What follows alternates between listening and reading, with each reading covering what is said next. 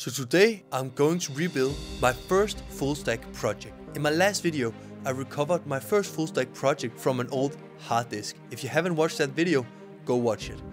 And many videos ago I created a startup which enables me to create projects very fast. Knowing the goal of this video, let's get on to the game plan. Step, Step one, one, one, plan out the project with the different pages that it should include and the functionalities. Step, Step two, two, clone my boilerplate project and set up the front end and the back end. This will also include creating the GitHub repos for the project. Step, Step three, three, set up the database. This will also include how I should structure different entries. Step 4 will be to implement all the things we found out in step 1. So without further ado, let's get right to it. So now I'll walk you through step one where I will first show you the design I came up with. It's just a simple mockup that we can use to build from. So let's go into Figma. So here I have the design. If we look at the first page, this will be the landing page. And uh, on this page, we will have an initial random movie playing in the background. And uh, that is indicated with the gray background as we see right here. Then we will have the title. Then we have the play button, which will full screen the movie uh, from the page. And then the learn more, which will bring us to the specific page for that movie. So here we have the movies page and on the movies page you should be able to see a list of all the movies which is available. And uh, there should be a poster of the movie and the name included and when you hover on a single movie it should show you the name and the IMDb rating and maybe also the description. So that is the idea for the movies page. Moving on we can look at the specific movie page. So if we press one of these movies we will get sent to this page and this page will have the movie poster blurred as the background image as you saw in the example in last video. Then we will have the name, the IMDb rating and the description as well. Then we would also have the poster in full size right here and we would have a play button. Moving on, we will go to the last page, which is the movie recommended page. And on this page, when you go to this, you will get shown three random movies and the, each of the trailer will be playing as indicated right here. And you'll be able to press the play button and it will go to that specific movie's page. Related to these movies and the images and everything, we need to decide how we want to store the data. But we'll do that when we set up the database. So now that we have all the Figma drawings, we can move on to cloning the project and setting up the GitHub repositories. I have already created two GitHub repositories. We just need to push some of our files. So first I will go into my terminal right here and then I will clone my boilerplate project, one for the client and one for the server. And then I will push these to the new GitHub repositories. So as you can see right here, I have a clone command which clones my fast forward dev client repository and then puts it into the home streamer client folder. Just like that. And then I can do the same for the server like that. So inside the documentation of my boilerplate project, I have this list of commands that you should run after cloning the project. So here we'll take the name of the folder, which will be home streamer client. So we will put it in here, home streamer VN, like that. Then our name, GitHub username. Essentially, this will remove the origin from being my original fast forward dev GitHub repository, and then we'll replace it with our new GitHub repository. Like that. And then we do the exact same for the server. And just like that, now we have set up the two projects. So now we can install all the node modules and then we can try to run the project and see the boilerplate. So now that the boilerplate is up and running, we can now start customizing the page so it fits the design we created in Figma. But before we start coding the website, let's look at step 3. Let's figure out what should be in the database. So what I did to figure this out, I went to OMDB API and uh, this is the API I'm going to use for the different movies. And um, here I tried looking at the data that you'll get from doing a simple API search. And um, here I see the title, the year, the genres, the director, the plot and the IMDb rating. So I have decided that these are the most important things to include in the database. The name of the movie, the year, the genre, the director, the plot, the poster URL, the IMDb rating, and then the movie URL. So let's set up MongoDB. So go to MongoDB and I will sign up using Google just like that. And uh, now I'm going to create a new project within MongoDB. Go to the projects folder right here and then press new project. And I am going to call this home streamer. Just press next and create project like this. And now we can create a cluster. Create and we'll just choose the free plan and I will choose a location close to me. Now I'll just press create deployment. So here we have the username and the password. This can be changed in the future, so I'll just go with this for now, like this. So now what you want to do is go to the connection method and when the cluster is done with the provisioning thing, it will give you the MongoDB connection URL. If you did not get recommended a password and username for the user, you can just go to the database access tab on the left hand side and then you can add a new database user and type in the username and the password and then you can use that.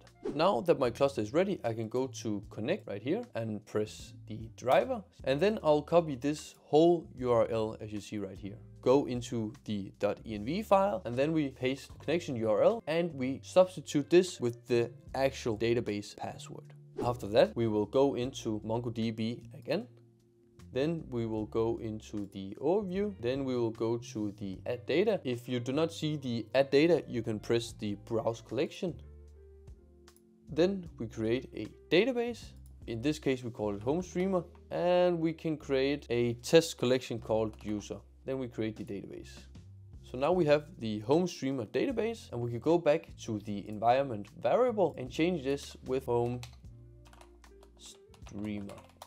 So now if we go to our terminal and we try to run the server and wait for a few seconds, we can see that MongoDB database connection established successfully. So given that uh, this is my startup, the boilerplate project, I'll not be able to show too much code, but I'll try to note down how much time I spent on each task so I can give you an overview of how easy it actually is to set up this project using my startup. So given that we now know how and what information we are going to store in the database, the movies I'm going to use is just my old YouTube videos and I have just called them the names of the movies and we'll just take the name of the file and then that will be sent along to the API. And uh, I'm going to start the timer to map out how long it takes for me to build this design. So here it starts. First thing I will do is actually store the information about the movies in the database. What you just saw is that now I have the movies in the database with the directors right here and the name, the poster URL and so on. So now we can go on to actually create the front end for the website. And this took around 20 minutes, so let's move on. I will give you a sneak peek into my boilerplate project. So when you get the project, you'll have this main page where you will have the header, which is the navigation bar, the hero section, the pros and cons, pricing, the frequently asked questions, call to action, and then a footer. And for this project, we only need to include the hero section because we just have the website with the landing page like this and the navigation bar as well. So when we go to the page, now this is the only thing we see. So now I got the video to play in the background and now I'll just lay out all the design for according to the Figma design I created. This is what I have for now. The background video running and the, the name of the video and the watch now and learn more button. So I'm going to show you the API endpoint which streams the movie or the video to the main page.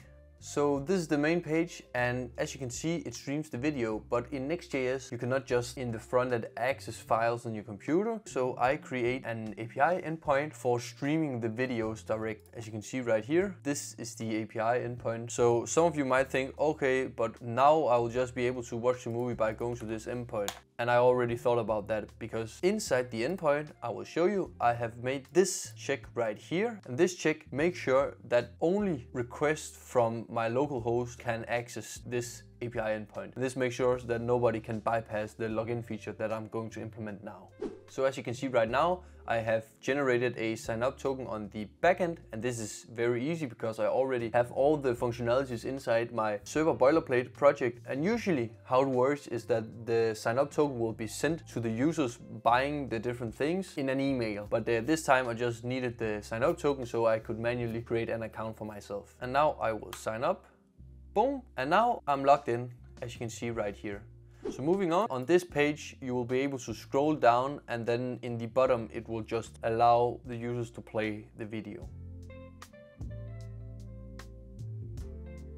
So now I finished the single movie page. What I'm going to do next is build the multiple movies page. So the list of all the movies that I have in the database. So now I finished the multiple movies page and I only spent 10 minutes fixing that page and uh, that's because I have this very easy setup where I can just easily add a new endpoint to the backend which finds all the movies and then return it and it's very easy on your front end to just call this endpoint and get all the movie information. When you go to the movies page now, this is what you see, a list of all the movies I have right now.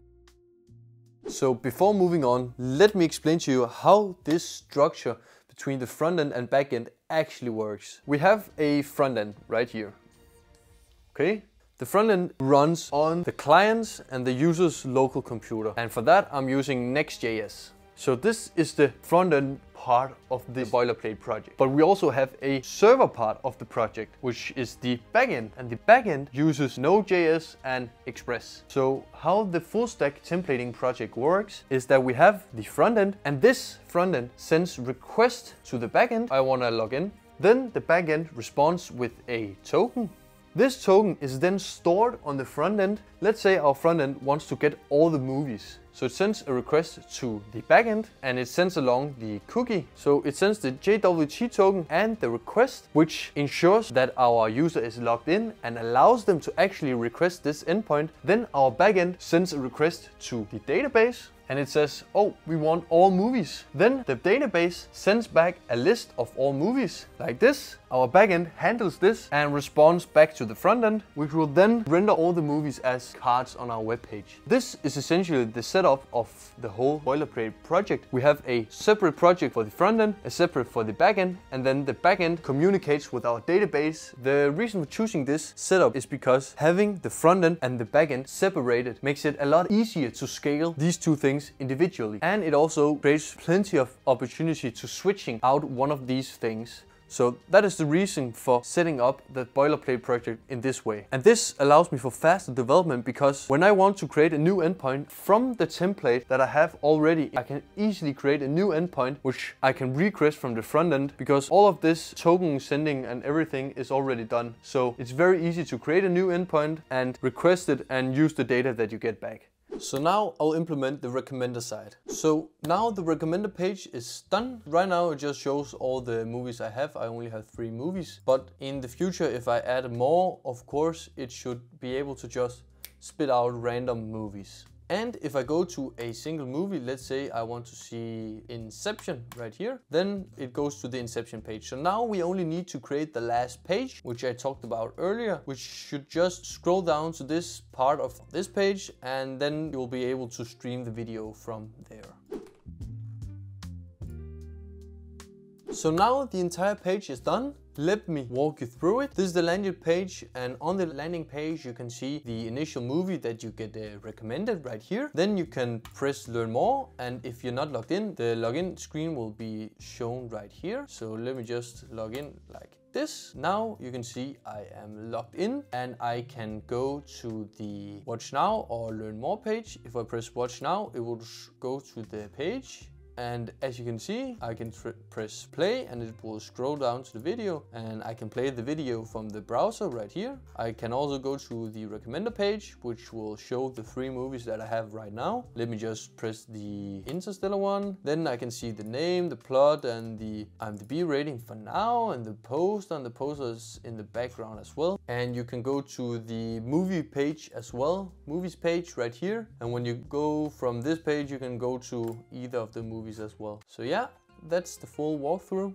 So looking at the times that I spent, the total time I spent on the project is 3 hours and 20 minutes. And that's including setting up the full project, uploading the videos, creating a, an account, creating login, everything because it's just straight out of the box in the boilerplate project. So this was me rebuilding my first full stack project using my new startup. And I just wanted to showcase that using my startup, it has become very easy for me to create new projects. In one of my next videos as well, I will talk about a new startup I created using this boilerplate project. This startup is called Catch Up Slack and it is a Slack bot which enables users to summarize all the messages in every single channel using AI. And I used my boilerplate project to create this startup so it took me only three days to complete it. So Stay tuned for the upcoming videos. I hope you liked watching me rebuild my first full stack project. Let me know in the comments if you have any suggestions for startups or projects that I should build in the future. And without more to say, thank you for watching and see you in the next one.